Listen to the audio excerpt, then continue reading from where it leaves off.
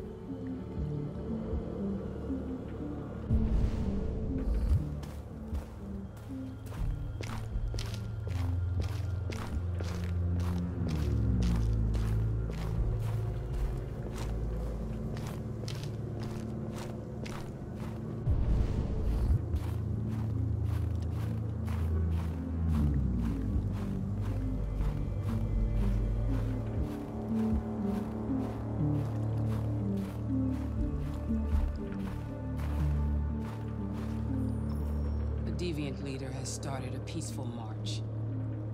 It wants to convince humans to free the androids from the camps. You have to find it, Connor. Find it, and destroy it